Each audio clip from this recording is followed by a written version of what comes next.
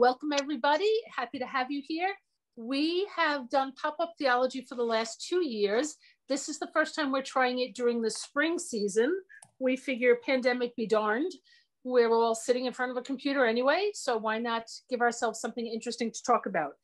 Most of you know by now, but I want to remind us about the legacy of Father Neil Connolly and the reason that pop up theology is named after Neil. Um, Neil was a priest we were lucky enough to work with for a couple of years before he retired and went home to God. He was a giant in social justice ministry and in that um, working with the poor in the church. And so, through this lecture series, our goal is to facilitate dialogue that interprets the interplay of our faith and the spirit in the modern day life. We've decided to honor Father Neil by dedicating all of our talks and special events to his vision of how Catholic life should be lived by finding Jesus in everything. And a word about our presenter tonight, Dr. Charlie Gillespie. He teaches in the Department of Catholic Studies at Sacred Heart University, where our beloved Father Tony comes from. His research and teachings investigate religion, the arts, and culture with a focus on the Catholic intellectual tradition, critical philosophies of art and beauty, and theater and performance studies. In 2019, he completed his PhD in religious studies at the University of Virginia with a dissertation entitled Drama Alone is Credible Hans Urs von Balthasar and the Interpretive Work of Theater and Performance in the 20th Century, 20th Century Christian Thought. Charlie holds a BAH in Humanities from Villanova University and an MAR in Religion and Literature from the Yale Institute of Sacred Music and Yale University Divinity School. He served as a catechist for Pope Francis's visit to the Youth Congress of the World Meeting of Families in Philadelphia in 2015, and is a co-founder of the interdenominational liturgical drama troupe, Theatrum Sacrum. Charlie is working on his first book, God on Broadway. He lives in Norwalk, Connecticut with his spouse, Tara Powers. So I am really pleased to present Charlie. I'm really excited to hear what Charlie has to say. All of that academia brings us to somebody who's going to talk to us about God and play and theology. So, Charlie, I'm so excited to hear what you're going to share with us tonight. It's all yours. Oh, I forgot to pray. Dear God, God who has a wicked sense of humor, be with us tonight. Open our hearts and our minds and let us laugh in your presence. Amen. Jen, thank you so much for that introduction and to Lydia for all the help with the technical support and getting things going. It's a delight and an honor to be with you all. Whenever I hear my dissertation title read out loud, I recall what one of my mentors, Father Jerry Fogarty, said the first time I shared the title of my dissertation, which is, oh wow, I'm still listening to the title and I'm already waiting for it to come out in paperback. Um, so it is an absolute delight to be with you all this evening. Thanks so much for um, taking the time to be with us. So I wanted to talk to you about theology at play, because I think that might be something fun to think about during our time of the pandemic. Um, I am going to share my screen because I have a little PowerPoint, but while we can all still see each other, I hope in gallery view, I wonder if we might risk something. I know you just got all the rules and regulations to keep your hands and arms inside the Zoom at all times uh, while staying muted, but I thought it might be fun just to ask briefly, what's your favorite game to play? So if I might ask, would you mind introducing yourself and just share with us is there a game or something that you enjoy playing? What comes to mind if I ask you, what do you like to play? Nick, why don't you go first? Do you have one that comes to mind? Putting me on the spot. Uh, I did. I would probably go with something athletic, kind of sport related. Um, probably go baseball or softball if that counts. I know it's off the game path, but. Perfect. Perfect. Nick's got us started with a game or a sport. Exactly the thing we want to think about when we think about play. It involves sports. Taylor, how about you? Is there a game or a sport or something that comes to mind when I ask you, what do you like to play? Uh, it makes me immediately think of like playing card games that my girlfriend's gotten me into a lot more of over the past few years. So just kind of any playing card games, classic Excellent. games. That is when I think of classic card games, fond memory, something like that. Um, St. Agnes Cathedral, does something come to mind for you if I say, is there anything you enjoy playing? It's, my name's Joe, by the way. I'm the spectator. I like to watch it all Perfect. and cheer from the sidelines. So there's no particular game. Excellent. But notice already that Joe has rightfully pointed out to us that play also involves watching in some way. We're going to talk about that a little bit. Joan, how about you? Is there something you enjoy playing or something that comes to mind?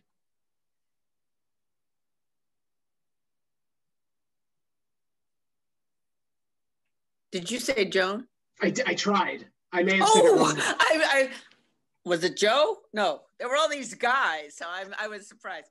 Um, I have to say, Monopoly. I really Mhm. don't play games very much, but because of my grandchildren, Monopoly. But it's striking to me that I don't have a good answer for that question. So there. Monopoly is an excellent answer. Thank you for being here. Um, and thanks to our first three folks that I put on the spot. I don't want to do that to anyone else, but are there? other Oh no, it, it's not on the spot. It's not on the spot. I just didn't. I just didn't understand. Okay. I don't know. It, it seems to me that, you know, uh, everyone is talking about games that involve other people, but I, I, I really like crossword puzzles. So I don't know if that counts or not, but I, I really like to do crossword puzzles. Excellent. Would anyone else like to unmute and share something they enjoy playing or what comes to mind? I have a game, but I can't think of the name of it. But it's when you're in teams and you act out a movie or a play, and you uh, Charades. charades. Thank you very much. That's my favorite game. Excellent. Charade's a wonderful game. I miss playing charades actually myself. Anyone else? I do. I like- I do Go ahead, Scrabble Kristen. game Oh, oh, nice. on online, online on Scrabble every sing twice or three times a day. Scrabble, word games, also connecting with folks, realizing that even though there are some games we think we can only play directly in person, we've actually found ways to do it during the pandemic. Kristen, please, is there something that comes to mind about playing? I like I like Breda. I like word games. I, I like bananagrams and Boggle, and I love word games. Word Cool. games are a lot of fun. And also we think of something like word play. Poets play with words in a certain way and invite us to notice things anew. I'm also a Bananagrams fan myself. Anyone else have something that comes to mind when you think of play? I like the specific card game, um, Phase 10, because my memory of my of growing up at home is my parents playing cards with their friends and the laughter that was filled the house. So I like card games, but Phase 10 sp- specifically. Excellent. Anyone else want to share one?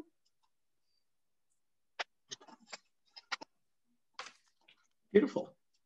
Well, thank you all so much for those great games to get us in mind and also other ways that we like to play.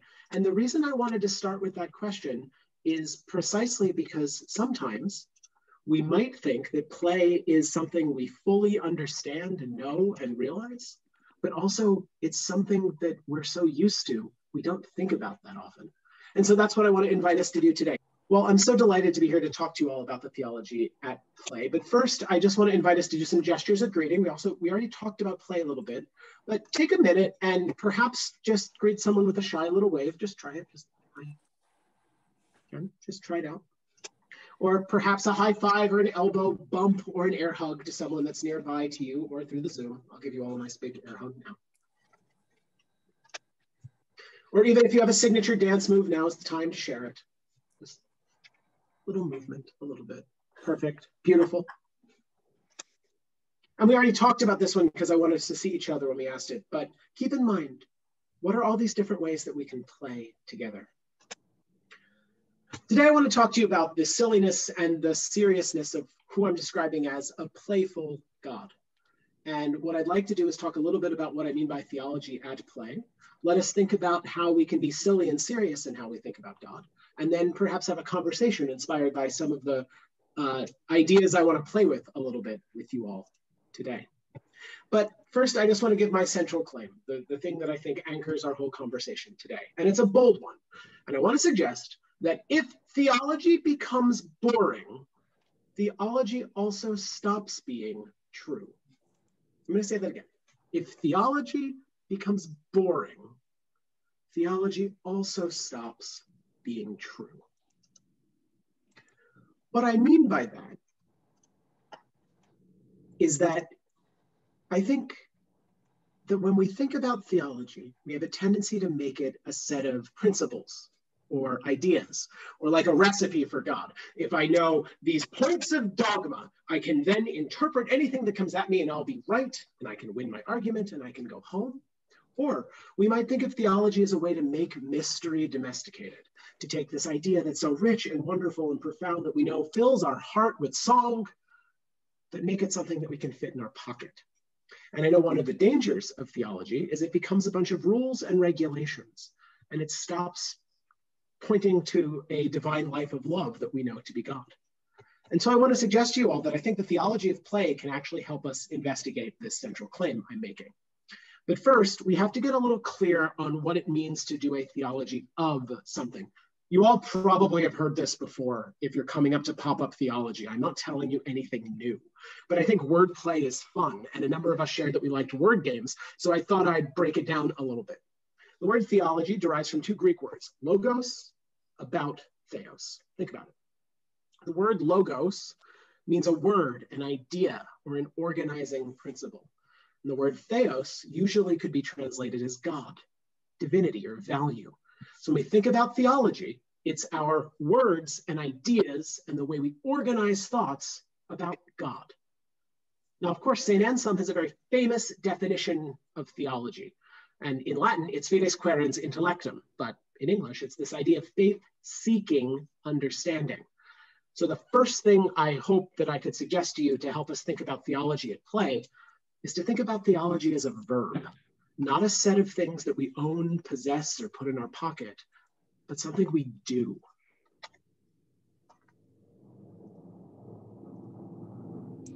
One of the great founders of liberation theology, and I know that St. Francis de Sales has a strong commitment to doing the work of bringing the kingdom of heaven into the world that we live in today through an encounter with those who are God's beloved, the least of these.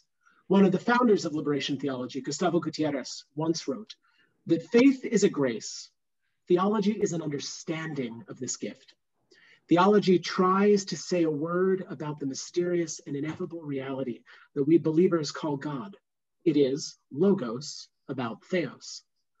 Someone I study, Hans Urs von Balthasar, who was a mid 20th century theologian, who was a favorite of Pope St. John Paul II, Benedict XVI, and even Pope Francis, argued that all theology is an interpretation of divine revelation.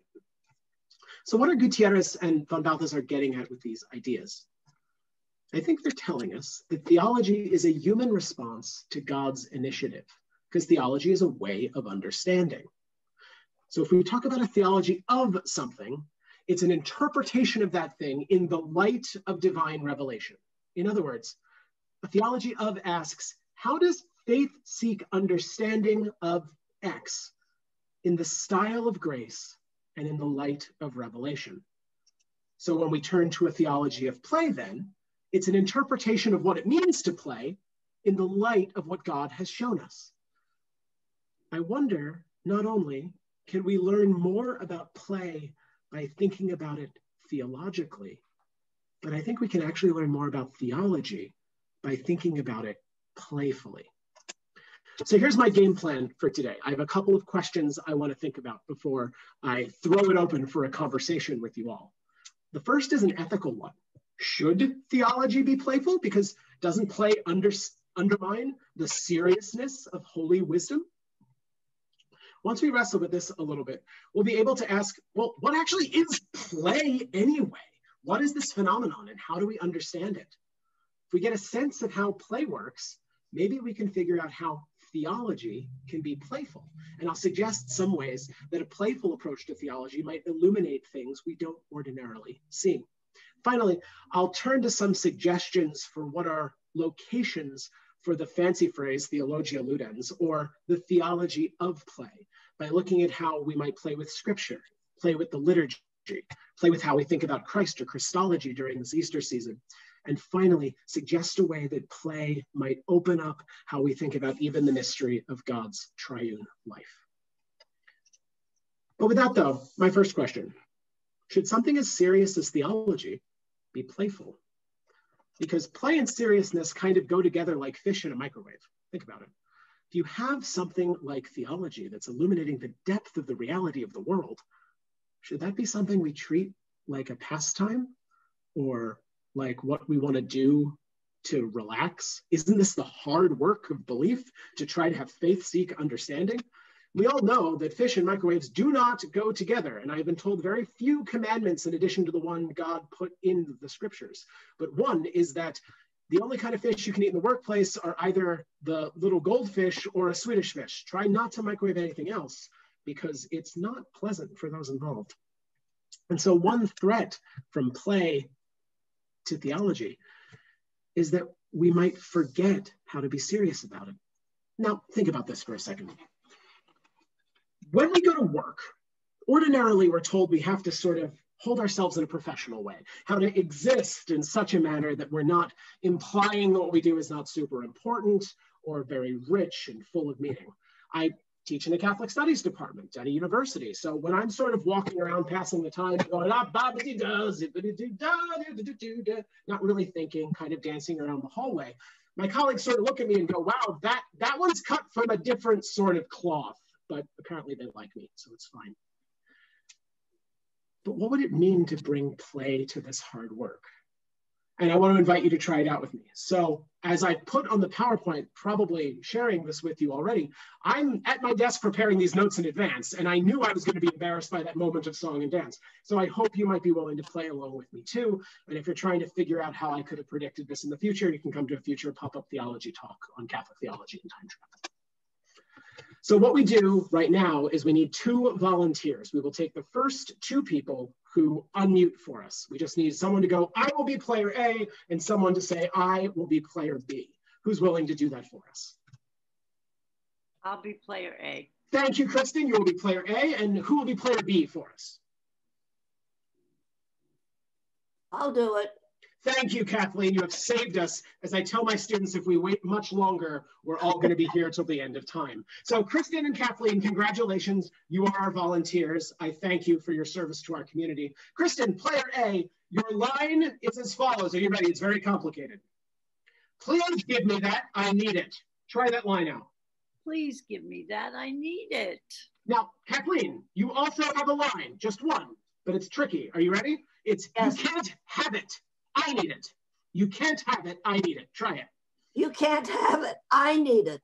Now, Kristen and Kathleen, we'd like to invite you to play this short scene for us a number of times, maybe for about 15 seconds, but you may only use your line back and forth. Try different ways to say it. What are ways to convince the other person to give you this thing that you need? Just bounce it back and forth like you're playing catch. And if one way of saying it doesn't work, play around and try a different one. Kristen, take it away. I need it. Please, may I have it? You can't have it. I need it. I really, really need it, Kathleen.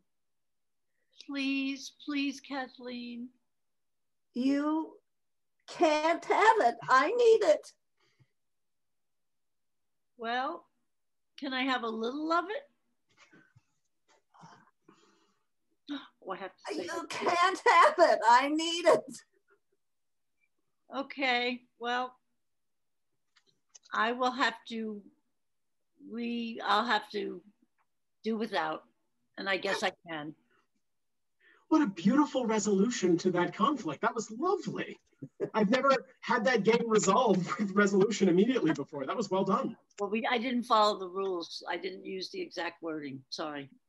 Why would you apologize for playing with the rules of the game? That seems to be exactly what we were hoping would happen. So thank you to Kristen and Kathleen for playing for us. A round of applause that no one will be able to hear because you're following the rules to remain muted. But we're so grateful for that little moment. Exactly. Thank you, good. A round of applause. What did we notice in that little game? Well, the first is that we can play with a theme and a topic and idea that might be extraordinarily important. I don't know what came to your mind when we heard Kristen and Kathleen playing with these two little lines, but that could have been a story about someone that needed a bit of food or access to a vehicle to get somewhere important or life-saving medicine. On the other hand, it could have been as simple as someone who just really wanted to be able to watch television with the remote or to flee from this pop-up theology because it's not quite as funny as you thought it was going to be.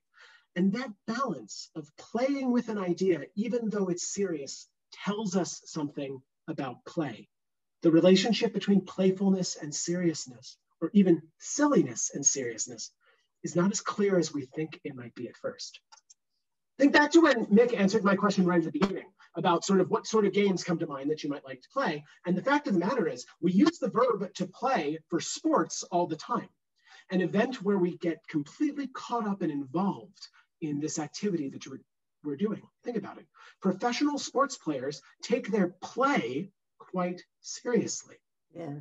On the other hand, think about a musician or an artist whose job it is, with hours upon hours of dedicated practice, to play an instrument, to bring beautiful music to life. This very same verb is something that we use to say, I am taking notes written on the page and I'm bringing them into the world. I'm playing this instrument to elicit beauty from it. So we know that when we think about play, it's not necessarily just something that's the opposite of seriousness and importance. It's a way of interacting with the world. So if we're not so concerned about being serious about theology while thinking about play, maybe we do need to figure out what play is itself. I want to suggest to you, based on some 20th century philosophy and theology, that what play does is present itself for our consideration. Think back to what Joe said right at the beginning of our time together. He doesn't really like to get caught up in the game, but he likes being a spectator and watching it happen. How does that work? Because play gathers a community to watch it. Any form of play, in some sense, presents itself to an onlooker. What are some of the qualities of that presentation that play makes? I want to call out three of them freedom, materiality, or stuff, and life. I think these are three key characteristics to play that we can use to think about play theologically. The first one gets you your $10 word for the day, which is that play expresses freedom because it is autotelic. Now, what does that phrase mean? Well, it derives from two Greek words again, auto meaning self, like an automobile, something that is mobile from itself, it's self-driving, and also telos, which is the fancy word for an end, not just the stopping of something, but the purpose or target of an event, action, or being. When something is autotelic, that means that it finds its end in itself. So play freely seeks itself as its own end. Another way to put that is that play has no purpose other than itself. Now, we heard a few folks make reference to card games earlier, and I have this image on the slide of a poker game, and you might be thinking wisely, but Charlie, no, no, no, no. Play definitely has a purpose. If I'm going to go play a card game, especially a game of chance where I'm gambling, my purpose is to win money. And my suggestion to you is that's not actually the purpose of the game. That is something we layer on top of the game as another goal. Think about it.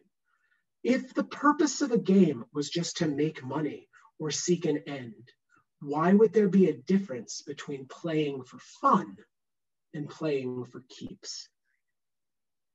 And so what I think we see, even in something as simple as a card game, is that play works by being itself, being wholly involved in what play is playing.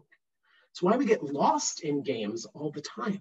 It's part of the fun of playing a game of Monopoly. You get so invested in these small bits of cardboard but you know, it, it really does hurt a little bit when you have to mortgage that boardwalk you work so hard to purchase, doesn't it? But it's not the same as if you were foreclosed on your house because the game isn't about investing in property. It's about sharing in something beautiful and joyful.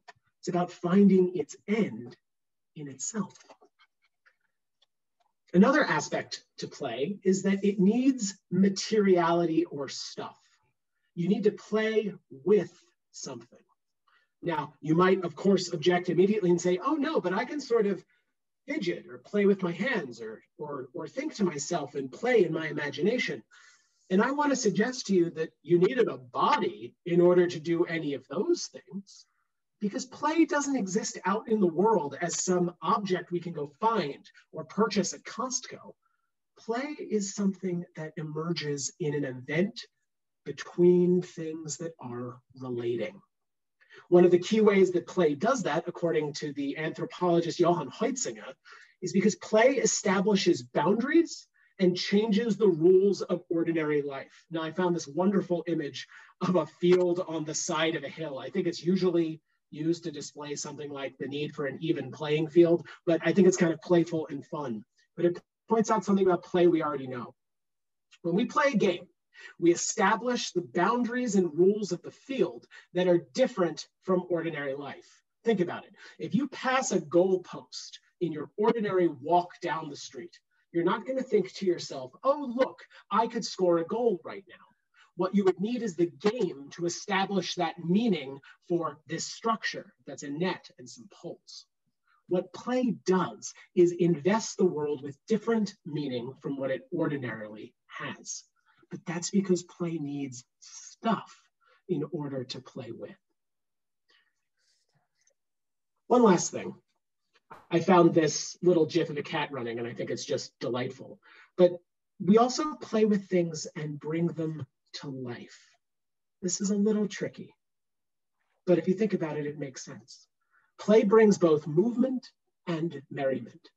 The basic structure to play that we've known since the time of ancient Greek philosophers is the movement of something sort of back and forth for no particular reason.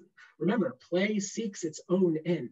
So when we're playing with something like a pen or a coin in our hand, that sort of movement back and forth gives it a new kind of life, sort of like the delight of watching these two elephants play on a seesaw. But the other thing about play is that it brings a delight to us because we get to see life in the world. Another way to think about it is who would you describe as the life of the party? Someone who's playful and making it an enjoyable time. This is one of the ways that play works in the language of the theater and performance. Think about how actors play in theater or on screen. They make choices and act in such a way that's different from their ordinary way of being, but they tell a story and bring new life for us to look at. So these are the three characteristics of play I think are important for us if we're going to play with play theologically. Play is about freedom because it seeks its own end. That's that fancy word, autotelic. Play requires material, including a body, in order to play with it because we can't go find play out in the world or on the shelf at a store. And play brings life, both in terms of movement and in terms of merriment. So I want to play a little game with you. This might be tricky, and I won't put anyone on the spot this time because I was cruel and unusual at the beginning of this experience. But I want to invite you, if you can, without going too far from where you are, find any prop, any object that you might be able to play with. But the way we're going to play is to ask you to interpret it differently. So how can you find any object that's near you, that, so we get the material, and do something with it so we can notice both freedom, it's not being used in its ordinary sense as a tool, and so that we see the life in it, both movement and perhaps even some merriment. See if you can find anything that would work for this game. Does anyone have a prop? Right, I see Alice has, a few people have one. So if you'd like, why don't you unmute for us and then play with this object for just a moment with some movement and merriment. But remember, the Zoom gods require that you make a little bit of sound or you won't light up with the magic halo, so we'll be able to see you. So Jane, are you going first? Was that me, Jane? Yes. Okay. Tequila. Beautifully done. Alice, I think you're next. Or a votive. Or a votive, lovely. Um, oh, I think I see Captain Hook in this alligator. Beautiful. Does anyone else have a prop they're going to play with for us? Have a flashlight so I can see you better.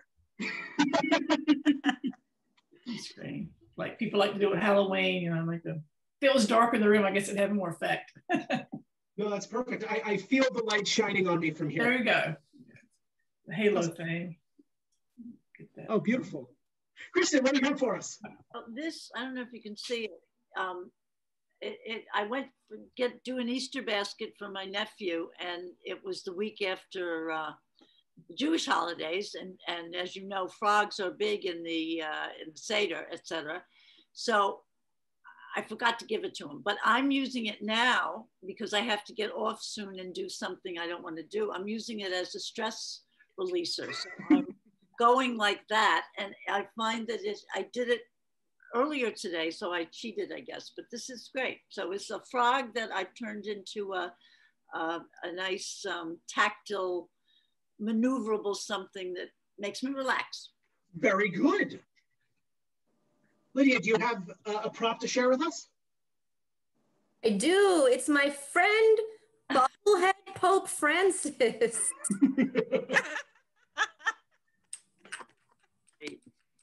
that now that's just spectacular. If, if you get nothing else out of theology, please know that it's fully endorsed by the Holy Roman Pontiff himself. Notice him nodding along with the whole talk. That's perfect. Anyone else have a prop for us?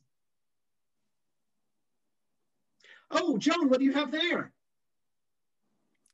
A pen. You must pay the rent. oh, marvelous. Perfect. Nice one. Very well done. Anyone else have a prop they'd like to share? I'm on my computer, uh, on the other computer. Oh, very good. And I'm looking up some Facebook stuff. Oh, excellent. The the proverbial book of faces where just constantly getting to see windows into people's lives. That's that's lovely. Anyone else have a prop for us? This is great. I brought a spackle knife uh, that I occasionally think about as a trumpet, but there are different ways to think about how we use these objects. Thanks so much for playing along for those of you who shared a prop with us. But look, I'm sure there's at least one person sitting here going, we're about 35 minutes into this, man, and I'm, and I'm still not entirely sure how any of this relates to theology. So I wanna make a few suggestions to you before I throw it open for some Q&A. There are three areas where I think that there are direct theological applications of the way we've thought about play together theater as an analogy, play and prayer, and thinking about a playful God. First, theatrical analogies. We all know the great image of the theatrum mundi metaphor from Shakespeare, who's celebrating a birthday tomorrow, I will have you know. And it derives most famously from those lines from As You Like It, where Jaques says, All the world's a stage, and all the men and women merely players. They have their exits and their entrances, and one man in his lifetime plays many parts. Now, how does this relate to theology? Think about it. If the whole world is a stage, to whom is this globe playing? There's an idea that stretches from the early church fathers to the present that we might think about our life on earth as a kind of play for and with God. But notice what that means, not in the ancient Greek sense, where the world is performing for the God's enjoyment, but in Christianity and salvation history, and notice that God decides to become a player alongside each one of us, to join us in our struggles and our triumphs in the incarnation. When we think about playing in terms of the theater, making choices, discovering new things, exploring the freedom of joy and laughter, playing with objects in new ways, it actually gives us a little bit of insight into what it means to live in a world that, in Gerard Manley Hopkins' phrase, is charged with the grandeur of God. There's theological possibility around every corner, just like how in a theater, something as simple as a pen can become a mustache, making us all afraid about the fact that we might be late on our rent this month. That might just have been me. But you ever think of prayer as playful or play as a prayerful activity? Think about what we've talked about. Prayer can also be autotelic and life giving. Sure, we have a long practice and tradition in the Catholic intellectual tradition of supplicatory prayer, or prayers that ask God for something specific.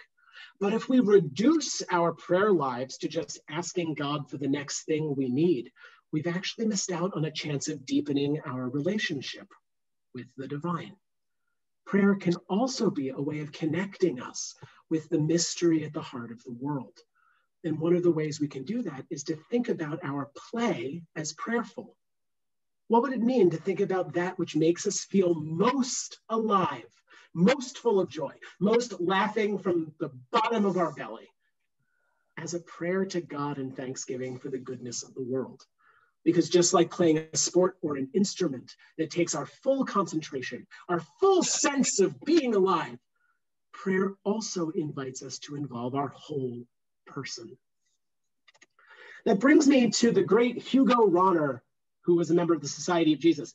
Hugo Rahner was brothers to Karl Rahner, who was a famous 20th century theologian you may have heard of before. There were actually three Rahner brothers who all considered entering the priesthood, and they were ranked in order of their theological promise. The most popular and well known, Karl, was actually considered to be the least creative and interesting. His brother Hugo was in the middle. He also wrote a couple of books, but they're nowhere near as famous as Karl's. And the third brother, considered by their teachers to be the best theological mind, became a mailman. There's a great quote from Hugo Rahner in his book Man at Play that I wanted to share with you to think about a playful God. Surely, only a person whose foundation is the reality of God can thus call life on earth a game and a shadow play. For only to such a person as this, only to a person who truly believes that this world has proceeded out of the fullness of God's created being, can accept and lovingly embrace the world, which includes themselves as God's handiwork, and at the same time, toss it aside as a child would toss a toy of which it is wearied, in order then to soar upward into the blessed seriousness which is God alone.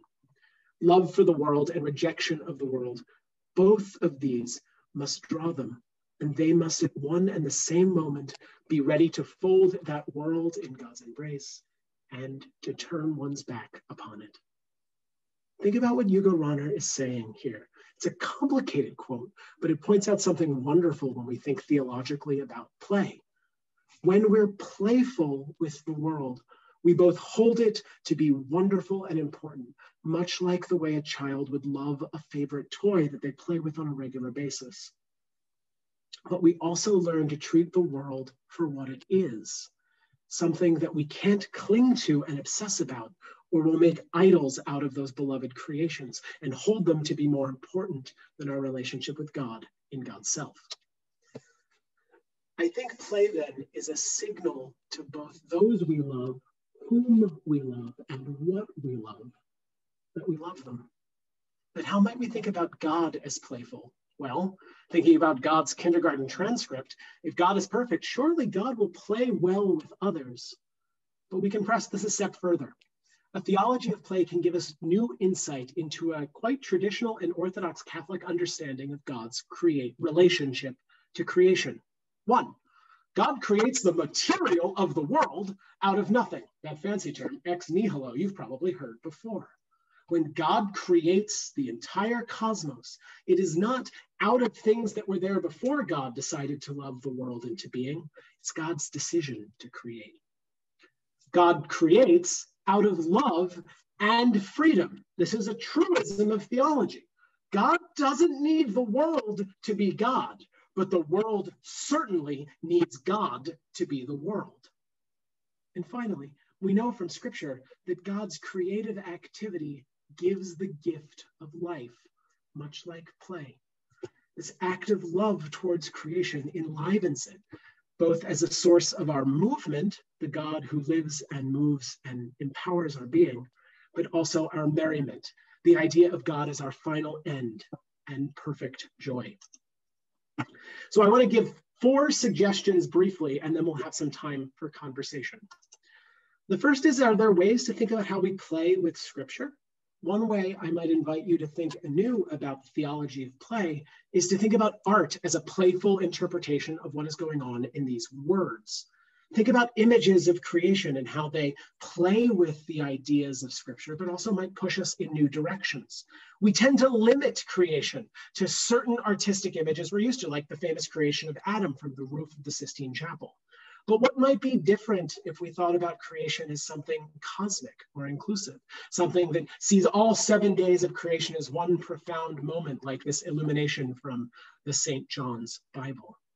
One way to think about playing with scripture might be how we make art out of it, whether that's theater, music, or visual art. Another way to think about play is how we see the elements of the liturgy. You think about my own image of Pope Francis here, the to and fro of incense as a playful application. We don't use it in the liturgy as a way to make it smell good because the Middle Ages did not have our HVAC technologies anymore, but instead it elevates both our sensory experience and the beauty of the moment. We can also think about the ways that liturgical actions, like the elevation of the bread and wine in the midst of the Holy Mass, might be a kind of illumination of these created objects in the light of divine revelation. What would it mean to think about this time when we gather as the body of Christ to receive the body of Christ? Be a way of God's willingness to play with and through us may also think about the playfulness of the risen Christ in this Easter season. Think about it for a minute. When Christ first appears arisen to the women at the tomb, Mary Magdalene mistakes Jesus for a gardener. There's also a wonderful story of Jesus' friends who clearly knew him well, walking to Emmaus and not recognizing Jesus again until the breaking of the bread. We often read this as a failure on the part of the disciples to recognize the Jesus they knew. But what if we think about Jesus as a bit of a trickster, reminding us that in the moment of resurrection, it's not simply a coming back from the dead to an ordinary return to life, but a chance to celebrate delight and have fun with it, a chance to surprise someone with something that could never be expected. The image to the right is a really striking and beautiful painting of the road to Emmaus. On the left, the mosaic behind the altar, it's Sacred Heart University, a playful engagement with the image of the resurrection, with Jesus harrowing hell and lifting up Adam and Eve, but also visiting with the disciples in the upper room. If you count them closely, you'll notice Doubting Thomas cut class that day, and that's one of the reasons he had some trouble recognizing Jesus. Finally, I want to suggest that the theology of play can actually help us think about God's triune life the eternal dance of God the Father's love for God the Son, who together their love spirates the Holy Spirit. How might we think about play as a way to imagine eternal life, not as something that would ever become dull or ordinary or predictable, but as an unending opportunity to be fully engrossed in God's love, a chance to have the rest and joy of play for all eternity because, well, what have we learned from our faith? If not that God is love, and that love is worth paying attention to. Does anyone have any questions or comments or thoughts or reflections? I got a, a thought that came to me in, at the beginning because uh, we can do this now, but you know, there was a time someone like you, especially trying to do or pass along the thought of the playfulness of God with what was always such a solemn and serious thing, you'd have been a heretic. You mm-hmm. know, you'd been brought up on charges of heresy and a blasphemer. Um, so uh, perhaps somewhere in, in your own studies, when and how and where did this begin to be okay? That is such an excellent question. So, on the one hand, I think it's always been okay if play is a kind of interpretation, the church has been doing it since the first days of the Christian community. On the other hand, if we think only about play as a mocking or perceiving ourselves as superior to something else, it's a way we talk about play all the time, right? You're playing at this, you don't actually know what you're doing. That's a kind of blasphemy, one that mocks or derides. I think one of the reasons the church for so long was so anxious about embracing a playful account of God is because there was a desire to shore up God's authority and importance and majesty. And it's a relatively modern sensibility in the sense of since the 20th century to think about play as something that dignifies. The shortest way to answer this great question is to think about our basic understanding of history. Professional sports were not considered to be an important contribution to culture until the last 100 to 150 years. It would only make sense then that if we're extending play as a theological tool, it would track along with the same period. last comment I would make about this, which I think is really a brilliant question, is thinking about God as playful might actually be an extension of the pastoral vision of the Second Vatican Council. If you, we think about theology as a set of principles so we don't get God wrong, a Tridentine sensibility, what we do with theology is interpret God correctly rather than incorrectly. Play is a different approach. It's one to see how is how God is manifesting in our everyday lives. And I think that's something that is a more recent but not unique way of thinking about it. Great question. I'm almost hoping that Baby Bar has something to add to the conversation since he's the probably the best player in the group. Me too. Hi, Anne. mm-hmm. I will ask uh, just a general question. Um, just, I, I guess, with regard to play, it seems to me that there's definitely some aspects of the Old Testament where God has, you know, it, um, or in the, it's been interpreted that God has been either harsh or God has been, you know, asking for for things like, you know, Abraham's son or things like that. And so, I guess how or what comments would you have on just God as both playful in the Old Testament versus the New Testament, or if you have any thoughts on that?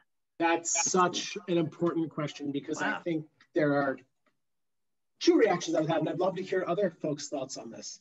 The first is when I think about play and the Old Testament, what immediately comes to mind are the prophets, where one of the strategies of prophecy to show when God is displeased with how humans are living is actually to play with materials in a new way. If you ever want to be shocked, go and look at the book of Ezekiel, where one of the prophetic strategies is to do utterly absurd things to point out the utterly absurd way of life of a community that's no longer in covenant with God. Another way to think about it is play is an angle on how we interpret the divine. And the Hebrew Bible reveals for us also ways to think about God's majesty and authority and importance. And if our tendency is to think that play makes us superior to the one who is playing, then reading the Old Testament might be a reminder that that's not the best way to think about God. There's a marvelous moment in the book of Job that I'm quite a fan of, where uh, the critique of God's way of relating to the world is to say, Why are you letting all this suffering happen? And God responds, Well, were you there when I created things? Speaking out of a whirlwind. I sometimes think to myself, certainly the most obvious way to stage that scene in a movie is to make it utterly terrifying and scary. The next way I think about it, though, is well, to talk out of a whirlwind and to say, were you there from the beginning is also kind of a playful, sarcastic response. And there might be some ways to read the Old Testament differently from a wrathful, angry God, but rather as a God who's trying to tell us that sometimes ways of living together aren't best. Well, I, I'm I'm often struck by, you know, by things that are very funny. And of course, as an old time, you know, Catholic, I know the New Testament a lot better than I know the Old Testament. But I, I just think this the part in the woman at the well where Jesus says to her, um, you know, something about your husband. It's it's like it's like you know, it's like Shecky Greene or I mean, it's it's it's like a comedy club. Oh no, you have me confused with someone else. I have no husband. Oh yeah, you do. Uh, I mean, that is just funny. That is a very funny thing, and how you know how you can read it any other way you know it's Jesus. You know he knew he, she had a husband. So, uh, you know, there's just a lot of that going on, certainly in the New Testament. And I'm intrigued to find out there's a lot of that in the Old Testament as well. Your uh, answer two questions ago made me think of history, first of all, but also court jesters back in medieval times.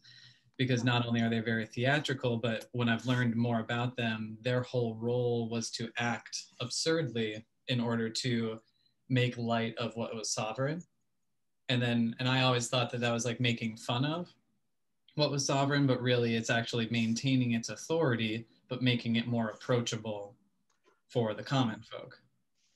And so because my question coming into this into your talk was about how can we have the playfulness and seriousness at the same time or is that just another duality of the universe? And so it and as as you were sharing it just seems like that playfulness makes it more approachable without threatening the authority. I think that's a really great point and it connects to alice's so well um, there's a long tradition of seeing the resurrected jesus as a kind of holy fool There's a tradition that sees this idea that death is laughable in the face of the resurrection. Um, it's it's sort of an interesting way to think anew about what we talk about in this Easter Easter season. Can you tell I have a liturgical calendar sensibility? But if we think about the way we think about the resurrection in our ordinary lives, what is the light of the Paschal candle if not a reminder that death, while scary and important, and we can't pretend that it doesn't fill us with sorrow, we can't pretend that resurrection doesn't have wounds. It also doesn't get the last word. And perhaps there's something about resurrection that lets us think about an eternity where we might be laughing rather than weeping. Just curious, you give this in a classroom with young people. What is that like, and how do they take this? Are are they because we're a different group than what you would usually be doing doing this for. I I'm just really interested in what what what are the differences between us and the kids that I'm 81, a, so you know. well, sounds to me like, uh, well, so three. That's a great question, Joan. Um, I think there's two big differences. I think the first is we got to do this in a playful way that I have to work really hard to try to trick my students into thinking the classroom is. Because most of my students, at least, come into my classes in the Catholic intellectual tradition as a required seminar for graduation. I want them to fall deeply in love with the world and with the, with the God that has created it. But sometimes my matchmaking doesn't always work as well as I want it to. Um, so the big difference here is we've already embraced doing something autotelically. You're not here because you needed to be. You're here to delight in spending time together and hopefully perhaps think a new thought. And hopefully I was not too much of a waste of your time.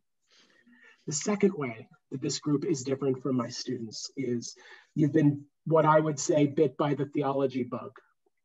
You've developed a love of deepening your way of thinking about God by continuing to wrestle with it. My students come at it from the other perspective.